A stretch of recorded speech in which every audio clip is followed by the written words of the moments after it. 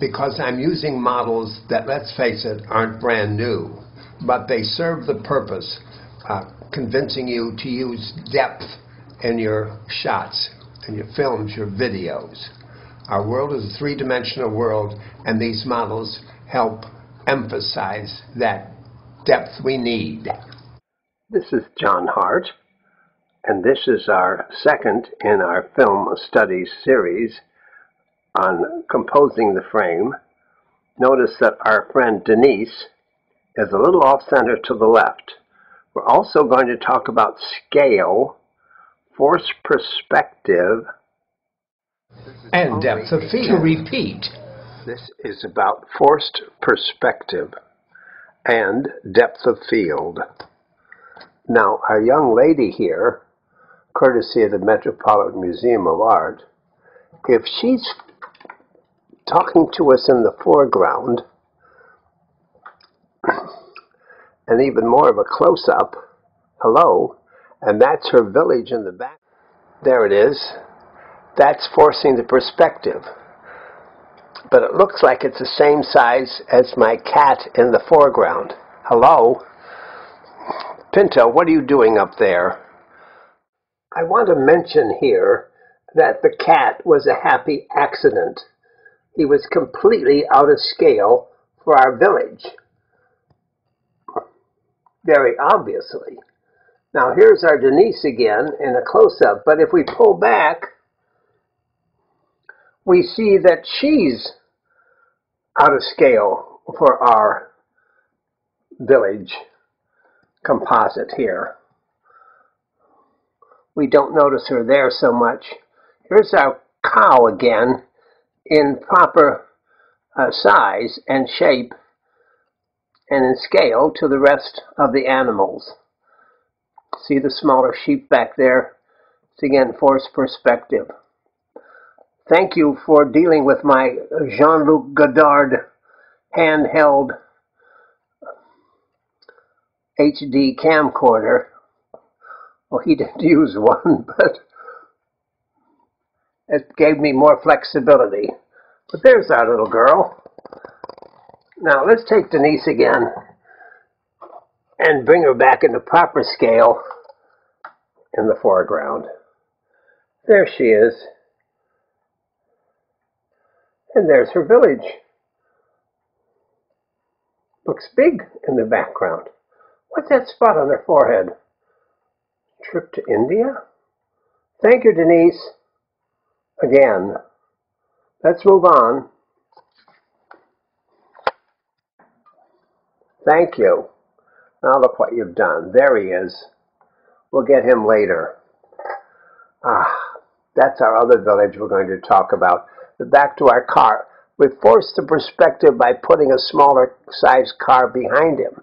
But we assume from this angle that that smaller car is the same size as the car, the blue car in the foreground.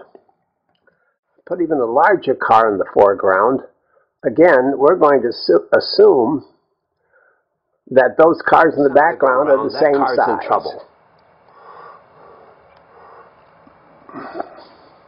There again, the car in the background we assume is the same size. Oh, hi Denise again. Oh, she wants to look away. But she also wants to turn and look at the village she lives in. And with her in the foreground, we assume, again, those are uh, homes that uh, she could walk in the front door uh, to. Now, if we zoom in closer, we have a gendarme there in the foreground, a policeman in the background, figures receding into the background, especially the, the cars. And again, we're going to assume that the cars in the foreground are the same size as the cars in the background, that the cars in the background are the same size as the foreground. However, they are smaller. The same thing with our buildings. The buildings behind the building in the foreground, we assume from visual experience in our three-dimensional lives that buildings in the foreground uh, of course, than the buildings in the background. The buildings in the background could be exactly the same size. although they recede in our one-point perspective.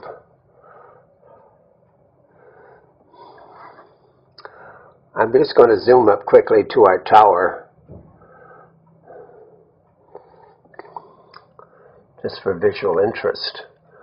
Again, if we move down here, you'll see that the lineup I've made, those are smaller cars.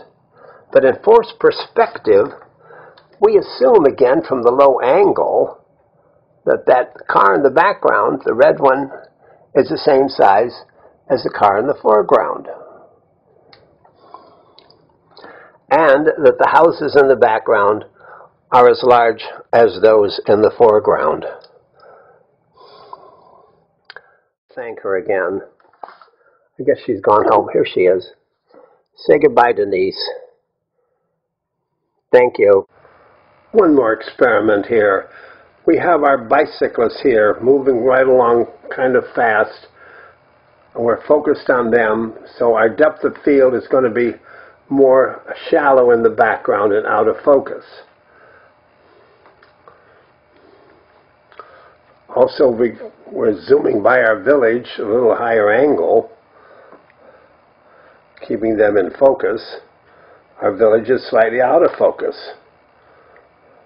Now, if we want to increase depth of field, well, especially if we're shooting outside, the brighter the day, the greater the depth of field will be. Here's our, our friends again foreground, middle ground, middle ground, background. All in pretty sharp focus because I've got a very bright light on all of them. So that increases my depth of field.